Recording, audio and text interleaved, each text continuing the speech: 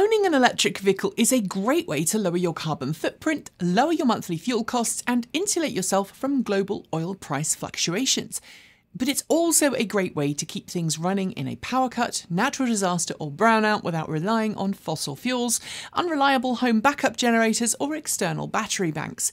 And today, with temperatures on the rise in the Northern Hemisphere and hurricane season already winding up, not to mention winter temperatures soon coming in the Southern Hemisphere, along with all the issues that can bring to grid stability, I thought today would be a great idea to give you a pointer or two on how to beat power cuts with your EV.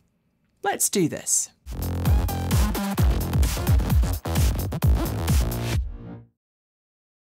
One of the coolest things about electric vehicles is that they are like a massive battery pack on wheels, and yes, while that battery pack is used normally to power said wheels, it means that when the power goes out, you've got an alternative power source at home. And so today's video is all about the different ways you can power your home or some select emergency appliances from your electric vehicle if and when that happens.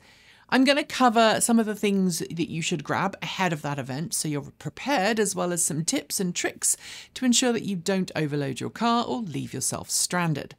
To start, I'm going to go over the different ways you can power things from your electric car.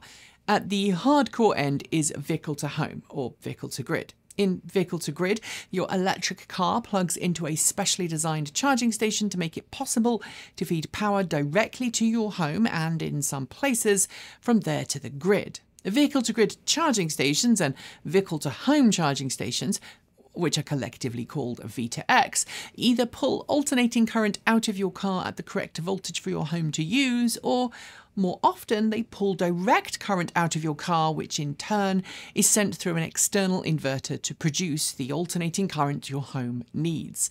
In both cases, not only does your car need to support one of these methods, but your home also needs a dedicated charging station capable of communicating with your car and then properly handling whatever power your vehicle supplies to it. Historically, while DC power takeoff was the preferred method of designing such a system, we are seeing AC systems coming in now. When it comes to DC, it allowed the inverter system required to produce appropriate alternating current from the car's battery pack to live outside of the vehicle, ensuring the vehicle itself didn't add extra weight for everyday driving. And as I said earlier, recently, while some AC based systems are being promised, I don't believe at this time many have hit the market. Those systems rely on cars having pretty powerful onboard two way charging circuits, and while they may ultimately prove more cost effective since they utilise power circuits already in the vehicle to do the heavy lifting, they are still very much in their infancy. Right now, there are only a handful of vehicles capable of V2X. Nissan's Leaf was first, along with other electric and hydrogen fuel cell vehicles with CHAdeMO inlets that were compliant with the V2X standards released by the CHAdeMO organization in 2014. Unless you're in Japan, however, where CHAdeMO is the de facto EV charging standard, support for it is waning in other markets, and thus the newest EVs to offer power takeoff using V2X are CCS based. The Ford F 150 Lightning pickup which is what I have, comes with the capability to power your home and eventually, we're told, export power to the grid using a specially designed system called the Ford Home Integration System. At the time it was designed and released, however, final specifications for official V2X using CCS hadn't been cemented, so it's technically not 100% compliant with CCS standards for V2X. And if you want to know more on that system and how it's working, or not, there are plenty of videos on this channel that I'll link to below. Chevrolet and Ram have also both been promising similar systems for their own Monster Electric pickup trucks, and for now, the massive battery packs in those vehicles seem to lend themselves quite nicely to the utility of backup power. When it actually works, my home integration system will happily provide up to 9.8 kilowatts of instantaneous power from my truck to my home, and it lets me power my well pumps, my septic system, my heat pumps, and most of the rest of my house as if, in fact, there wasn't a power cut. In fact, there's only a few circuits that aren't connected to my home system. That's the three other level 2 charging stations we have at the house, our stove and our clothes dryer. Because frankly, if there's a power cut, cooking a roast, or drying clothes are likely not at the top of my priority list. Getting any of these systems, though, takes time, research, and money. But let's look at some more immediate and more cost effective ways you can keep things ticking over when the power goes out. Next on my list is the increasingly large number of vehicles coming to market with built in mains power inverters on board, something the industry has termed vehicle to load. Instead of supplying power to an entire house or electrical panel, vehicle to load allows you to pull between 1 and 3 kilowatts of power from your car's battery pack using built in mains outlets on the vehicle, or in the case of the Hyundai Kia Genesis family of EVs, via a special adapter plug that fits into the AC charging inlet on your car. If you're in the market for a new EV and you're wanting something that can provide backup power, this is honestly the easiest solution for getting it. As long as you have a secure place to park your car, because you're going to want to trail cables to wherever it is you want to power, this is the best of both worlds without requiring a massive amount of investment into specialised equipment in your house. Of course, some vehicles also go completely overkill with sockets. My F-150 Lightning, not to mention the Rivian R1T, and pretty much every other electric pickup truck on sale or coming to market also offers multiple power sockets in the vehicle cab, front and bed. In the case of my F-150 Lightning, I can even pull a 30 amp 230 volt feed from the bed to give me around about 7 kilowatts of power right there should I need it. And yes, I can use that the same time as I'm using my home integration system. I've checked. It works. In reality, though, most people don't have a server room next door, and most people don't have everything electric. Most people don't need huge amounts of power, and a few kilowatts is more than enough to wait out a storm, especially if you have mains water and sewerage, cable internet connection, and an alternative form of heating that isn't reliant on electricity.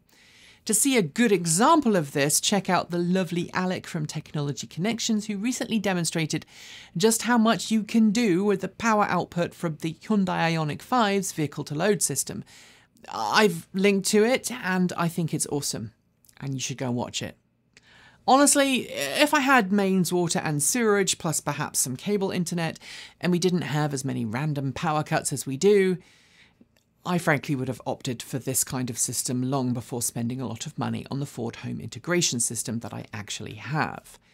But while V2L systems come with the car, which means you have to spec your new car with it at the point of purchase, either as an optional extra or a standard fit item on higher trim models, they are certainly the least cumbersome and require no tech savviness to use, so for most people watching this video, that is the path I'm going to recommend if you're not into home attached battery storage systems like Tesla Powerwalls, or you aren't interested in portable backup power systems like the portable units often sold by YouTubers. That said, if you're going this route, as well as the next route I'm going to talk about, you do need to invest in properly rated extension cables.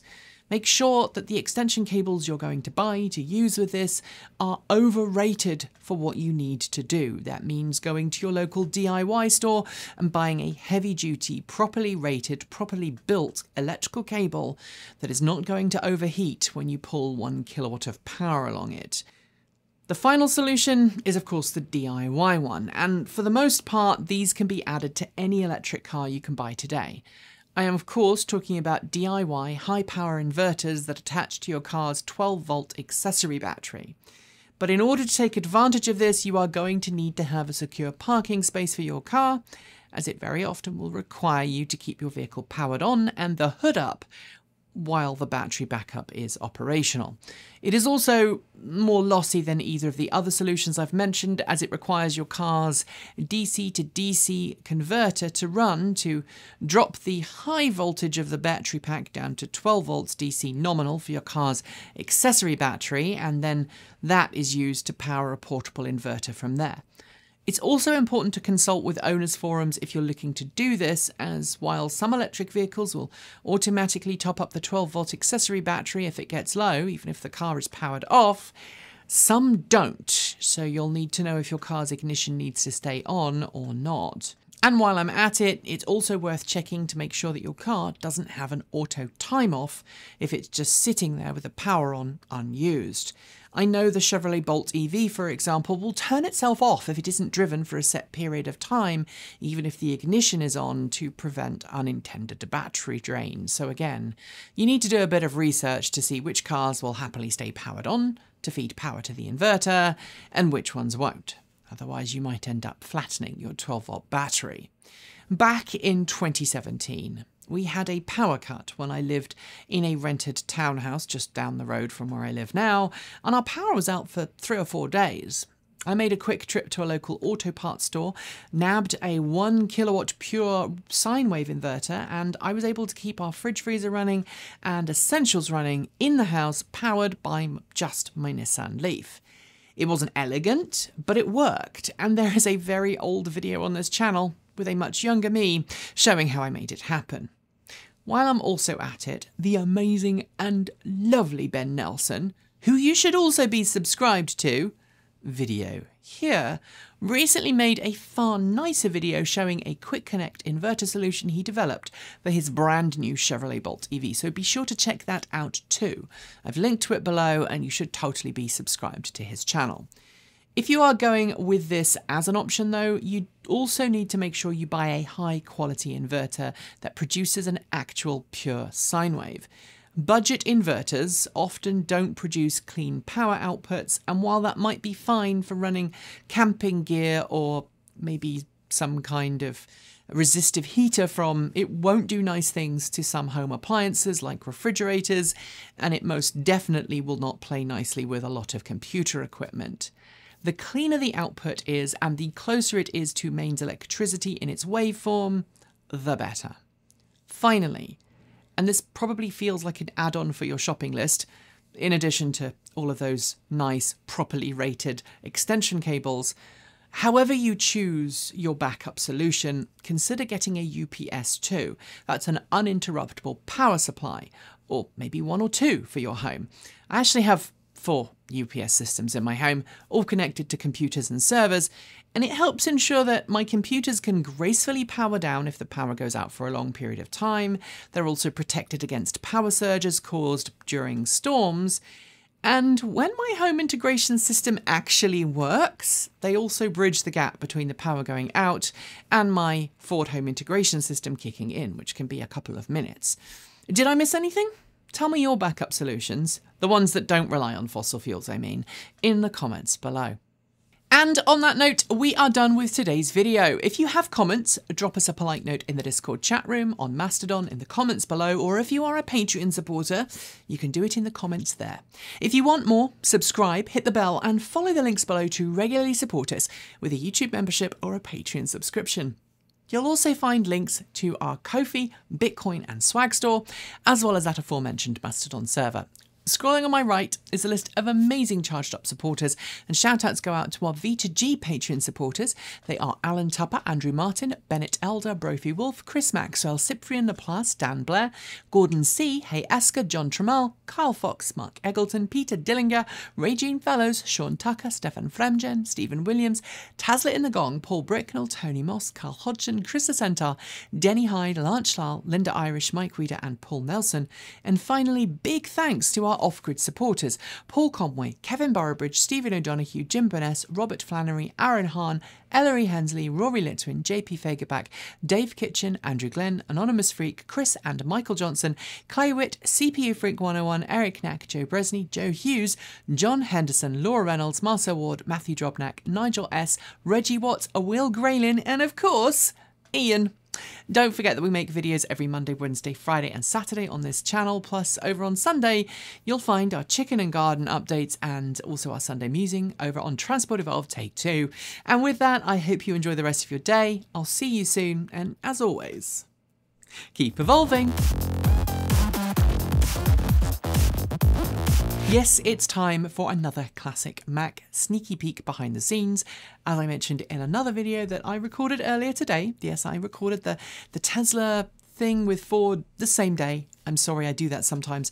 This is the same computer that's been sat here for a couple of months. I've been busy at the weekend doing garden and other stuff, but I would love to hear from you all about your classic Macs and your classic computers. And I know some of you have wanted to donate classic Macs to the channel to see them behind me on the screen here. If you'd like to do that, just reach out. There is a contact button on our website, or you can reach out to us on Mastodon.